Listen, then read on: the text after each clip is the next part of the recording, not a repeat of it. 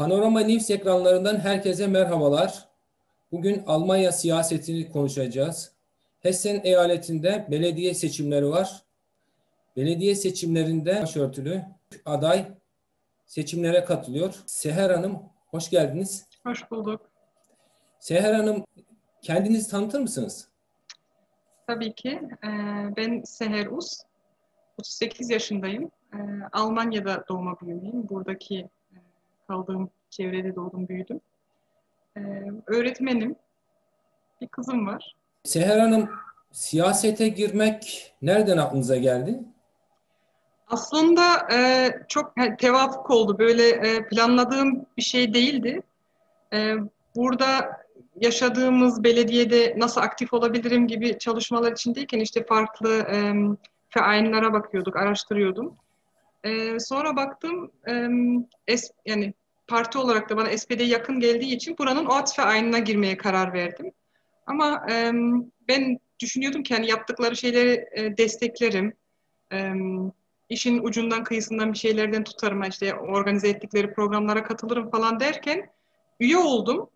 E, buranın parti başkanı sonra beni evde ziyaret etti. İşte birkaç tane toplantıya katıldım derken e, kendimi politik çalışmaların içinde buldum. Hmm.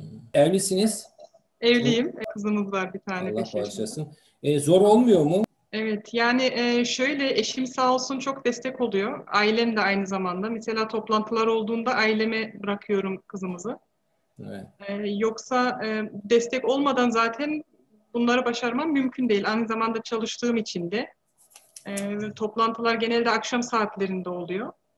E, her toplantıya katılamasam da çoğunluğuna katılmaya çalışıyorum ve e, dediğim gibi ailemin desteği olmasa e, ben hani bu şekilde rahat hareket edemezdim. Peki SPD veya Almanya'daki partiler içerisinde başörtülü aday çok azınlıkta. Hani parti içerisinde nasıl karşılandınız siz? Ya şöyle, e, bu toplantılara zaten ben devamlı katılıyordum. Bu seçimlerden önce de hani tanışıyorduk e, oradaki arkadaşlarla. Sonra bir gün e, Noel yemeğinde otururken işte orada yeni gelenlere kendimi tanıttım. E, biri dedi ki bir dahaki seçimlerde dedi Seheri Kreistags listeye koyarız dedi. Ben güldüm geçtim yani hiç ciddiye almadım çünkü e, bunun olabileceğini veya hani beni başörtüyle öyle bir yere koymak isteyebileceklerini açıkçası hiç e, ihtimal vermemiştim. Hatta evde anlattım dedim böyle e, şey yaptılar şaka yaptılar herhalde falan dedim. Yeah. Sonra bizim parti başkanı bir gün işte bu seçimler yaklaşınca dedi işte böyle böyle e, düşünüyoruz. Ya dedim ben e, hiç düşünmüyorum çünkü insanların e, tepkisinin nasıl olacağını, ne olacağını bilemediğim için, kestiremediğim için. Ama baktım onlar hiç yani bu başörtü meselesini veya başörtülü olduğumu hiç konu bile etmediler. Yani e, hmm. normal kendilerine birbirlerine nasıl davranıyorlarsa bana da aynı şekilde. E, baktım onlar için problem değil. E dedim niye benim için problem olsun? Zaten hmm. buradaki bizim belediyedeki e, insanlar gerçekten çok cana yakınlar. Almanlar sokakta görürken selam veriyorlar. E, tanınıyoruz da. E, öyle olunca e, tekrar iş ciddiye binince işte dediler e, Seher'i aday göstersek e, bizim Kreistagswahl için. Aynı zamanda belediye e, meclisi için. Ya dedim e, açıkçası biraz çekincemem var ama bizim belediye başkanı ile parti başkanı da dediler biz sana e, yardım ederiz. Hani elinden tutarız, bilmediklerini anlatırız. Sıkıntı değil dediler. E, tamam dedim siz destek e, vermek için söz veriyorsanız ben de okey diyorum dedim. Öylelikle e, listeye girdim yani. Hmm. Tam olarak e, ne seçimi? Onu e, Kommunalwahl dedikleri e, belediye, belediye meclisi evet. ve burada Land e, Landkreis'in e, meclisinin seçimi olacak. Her ikisine adaysınız. Aynen. Peki e, seçim çalışmaları sırasında e, Almanlarla karşılaşıyorsunuzdur mutlaka. Hı hı. E, nasıl karşılıyorlar size? Karşı bakışları nasıl? Ya, e, daha pazar günü e, flyer dağıttık burada evet. e, kardeşimle. E, açıkçası ben hani insanların evinin önüne giriyorsunuz. Sonuçta mahrem yerlerine, posta kutularına bir şeyler bırakacaksınız falan. Biraz böyle açıkçası çekindim başta. Sonra baktım kapı önlerinde oturan Almanlarla böyle hani muhabbete giriyoruz. Gayet hani normal karşıladılar. Hani demediler aa sen de mi adaysın hani gibilerine kartlar aldılar. İşte kimisi e, teşekkür etti biz oyumuzu verdik dedi. Kimisi e, dedi işte sizi destekliyoruz. Hatta e, yürürken yaşlı bir e, burada oturan insanlardan geldi yanıma dedi ki sana oy verdim biliyor musun dedi. Yaşlıca bir adam. E, tabii bunları duymak insanı e, şey yapıyor, böyle mutlu ediyor. Okuldan arkadaşlar da hani e, diyorlar tabii ki hani Türkçe e, konuşan, Türkleri bilen ve onların oyunu da alabilecek olan birinin girmesi de güzel diyorlar. Sonuçta çalıştığım e, Landkreis'te olduğu için benim okulumda oradaki öğretmen arkadaşlarım da potansiyel seçmen oluyor aynı evet. zamanda. e, iyi karşılıyorlar. Yani hiç kimse demiyor ki e, senin ne işin var orada veya girmen e, hiç hoş değil. E, aksine destekliyorlar. Yani hani e, belki de şimdiye kadar bekledikleri bir şeydi. Bilmiyorum. Hani Türklerden hmm. giren fazla yok zaten. Türkiye kökenli seçmen çok mu orada? Bulunduğunuz Türkiye e, şöyle biz uzun yıllardır Alman vatandaşıyız. E, ve tabii bu seçimler içinde etrafımıza duyuruyoruz hani e, böyle böyle diye. Ama e, Türk seçmenler daha fazla yani Türkiye'de oy kullanabilecek olanlar ve çoğu da genç mesela bizim tanıdıklardan, akrabalardan işte diyorum oy kullanacak mısınız? Ya biz Türk vatandaşıyız diyorlar. Hadi ya diyorum size burada doğdunuz büyüdünüz ama e, yani açıkçası yüzdesini şu anda kestiremiyorum ama ben e, haber saldığım kişilerin çoğu Türk vatandaşı çıkıyor daha. Hmm. Belediye seçimlerinde Türk vatandaşları oy kullanamıyor. Yani Alman Kullanamıyorlar. Avrupa Birliği vatandaşları e, kullanabiliyor Olmaz. ve belli bir süre burada oturmuş olmaları gerekiyor. Belli bir süre derken Türk vatandaşı olarak da Yok, belli bir süre Avrupa oturunca... Avrupa Birliği vatandaşı tamam. olarak. Tamam.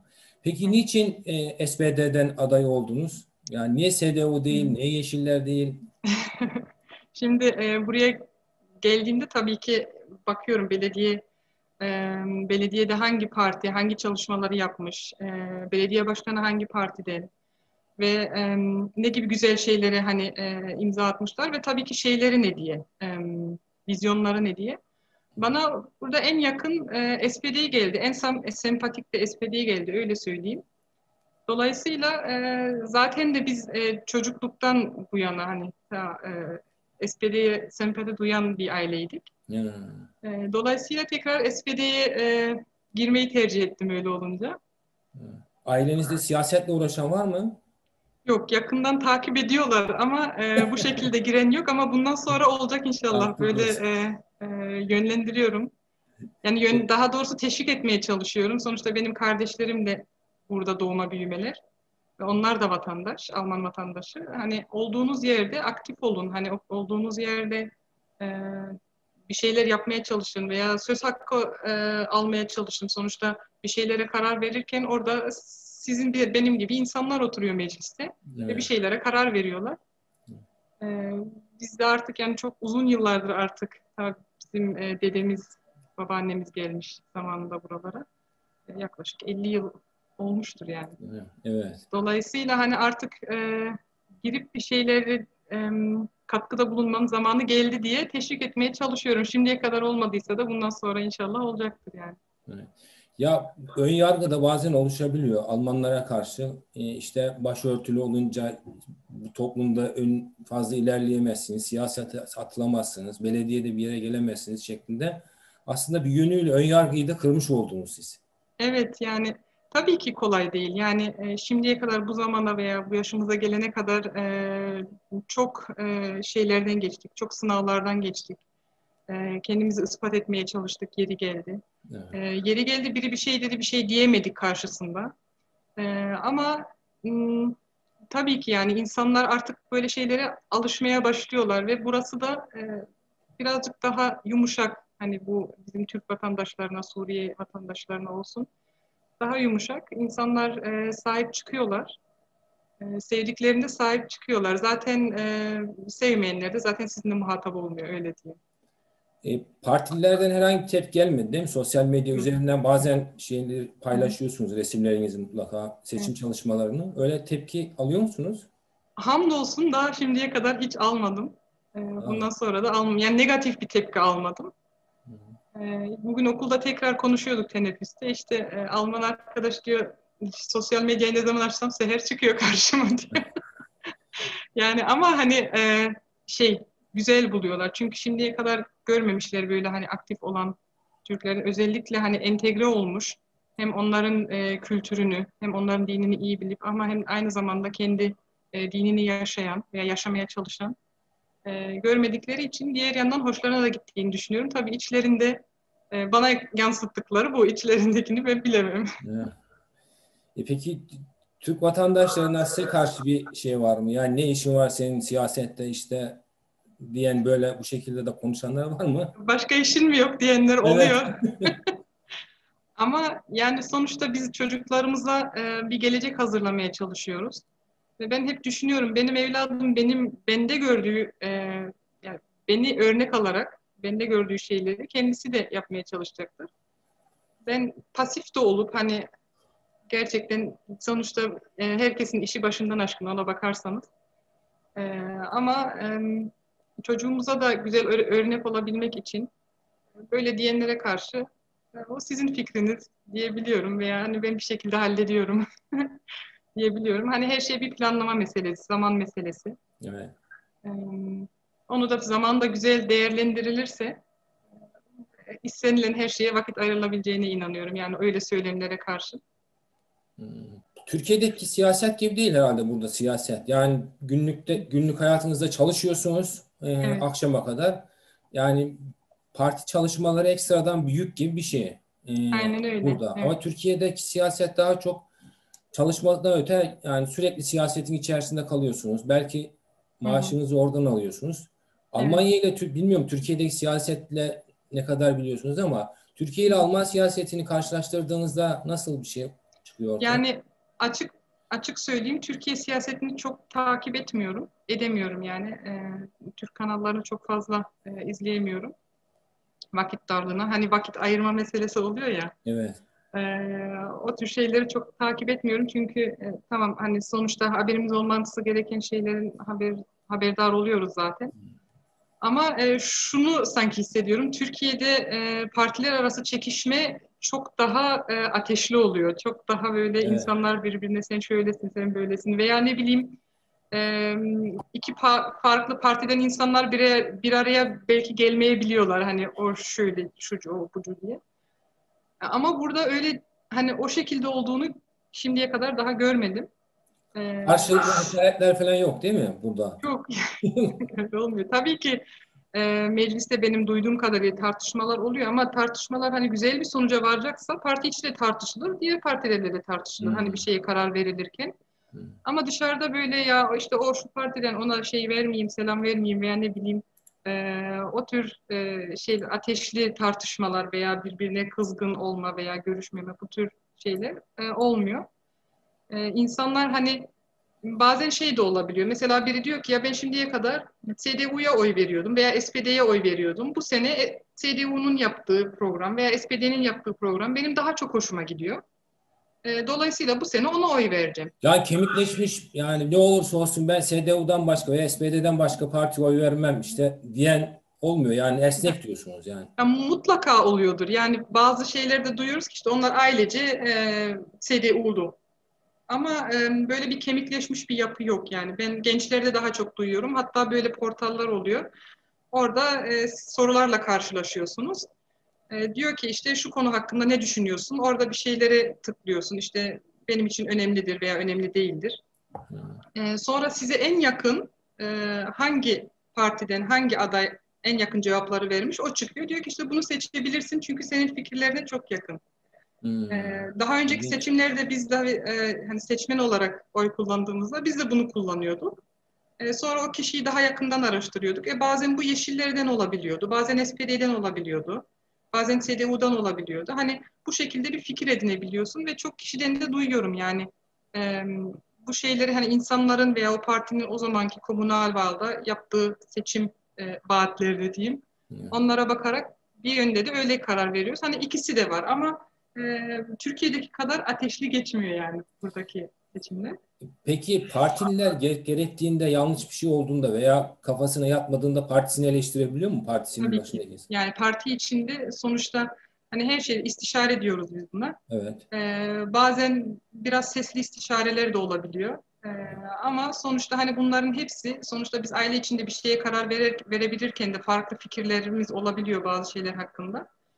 E, dolayısıyla orada bir sürü insan bir araya geliyor ve hepsi e, o partisi için en güzel şeyi yapmaya çalışıyor. Orta yolu bulunmaya çalış bulunmaya çalışıyor ama eleştiri de olabiliyor tabii ki. Ama deniliyor hani biz içimizde birbirimizi eleştirelim ve güzel bir yola varalım ki insanlar dışarıdan insanlar bizi eleştirmesin.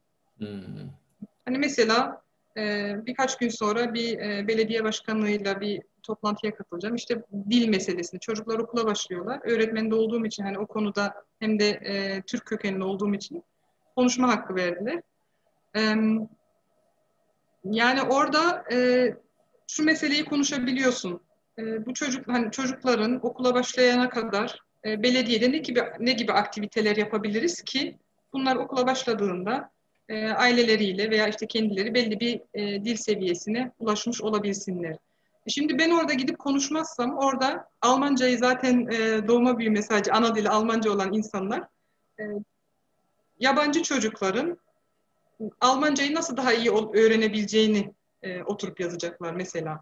Hmm. Ama e, bu dilin içinde veya bu bizim kültürün içinde büyüdüğümüz için hani yani şu olur veya şu olmaz veya Türk aileler veya yabancı aileler hani e, şu şekilde yönlendirilse işte bizim kültürümüzde şu vardır e, veya ne bileyim şu söylediğiniz şey belki bize çok uymuyor hani e, gelme, gelme potansiyeli yok diye en azından e, bize bakan yönünü onlara aktarabilmiş oluyorum. Ve hmm. böyle yerlerde olunca tabii ki e, fikrinizi de alıyorlar zaten. Hmm. Dolayısıyla hani biraz ilgi gösterme, biraz e, yani e, olduğu toplumu nasıl diyeyim, olduğun toplumu e, geliştirme adına evet. özellikle gençlerden e, katılım olsa çok güzel olur diye düşünüyorum yani.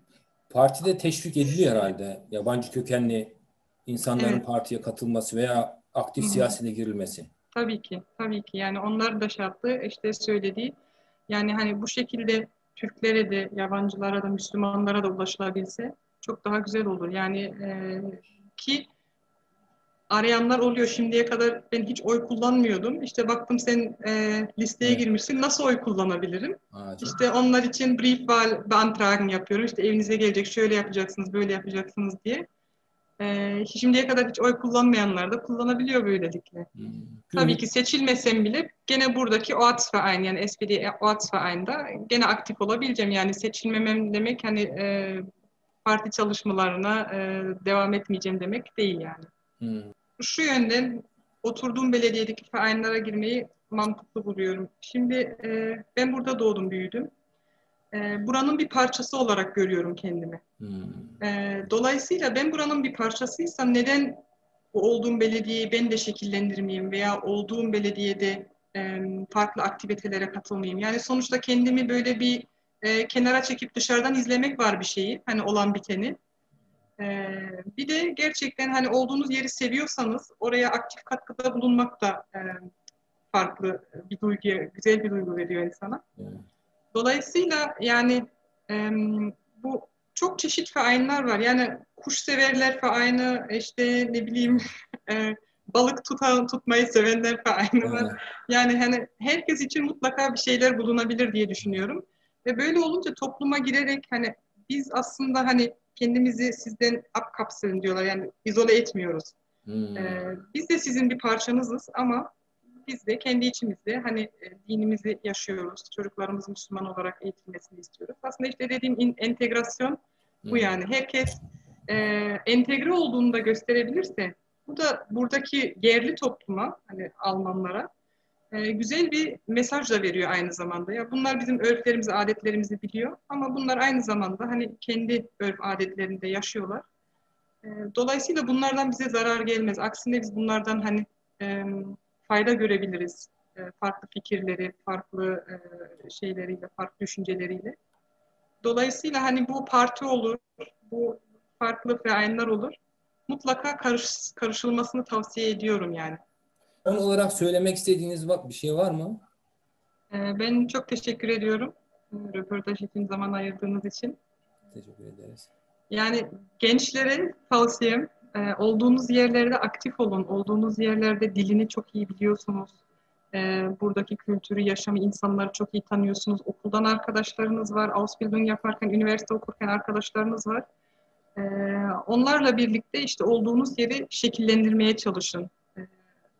E, Dorfverein, işte e, şehirde, şehir, şehirse şehir, köyse köy, nerede yaşıyorsanız orada e, aktif olup olduğunuz yerleri güzelleştirmeye çalışın diyebilirim en son. Çok teşekkür ediyoruz Seher Hanım. Ben teşekkür İnşallah ederim. e, seçimlerde partiniz adına başarılı olursunuz ve e, kazanırsınız. Temennimiz o. İnşallah.